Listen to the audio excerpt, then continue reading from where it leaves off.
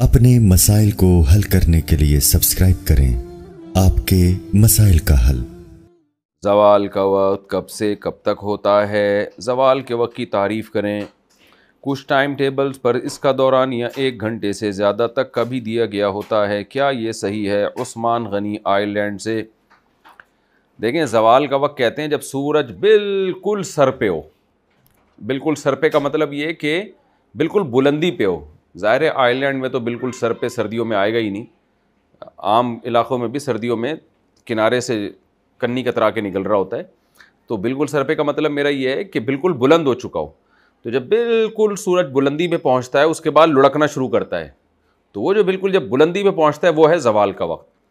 तो वो इलाके जहाँ सूरज की मामूली हर, मामूल के मुताबिक हरकत होती है, जैसे इंडिया, पाकिस्तान है और ये सारे इलाके हैं तो जो इक्वेटर से बहुत ज़्यादा दूर नहीं है तो उनमें तो यही होता है कि पाँच मिनट पहले और पाँच मिनट बाद की एहतियात कर लें। यानी दस मिनट जवाल का वक्त है।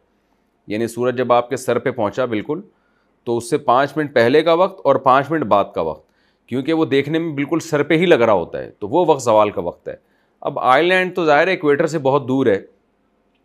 वहाँ के उलमा क्या कहते हैं इस बारे में, वो आप वहाँ के उलमा से पूछें, क्योंकि वहाँ जब सूरज सर पे पहुँचेगा सर्दियों में एक तो पहुँचने में बहुत टाइम लगाएगा वो, क्योंकि दिन बहुत ज़्यादा लंबा होता है वहाँ पे।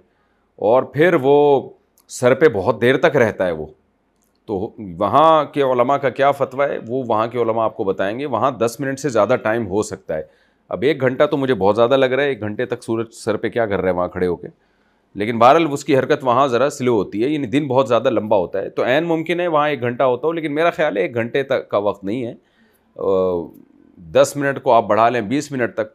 तो सही बात वहीं के आपको उलमा बताएँगे, बल्कि आप ख़ुद मुशाहिदा कर लें। आप देख लें आइलैंड में सर्दियों के मौसम में सॉरी, सर्दियों में नहीं होगा, गर्मियों में होगा। गर्मियों में दिन बहुत ज़्यादा लंबा होता है। तो आप आइलैंड में देख लीजिए, गर्मियों में सूरज बुलंदी तक पहुँचता है और बुलंदी के बाद कितनी देर में लुढ़कना शुरू करता है।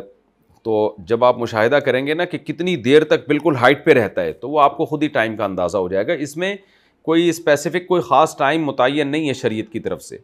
बस ये मुतन है कि देखने में आपको लगता हो कि ये बुलंदी पर है।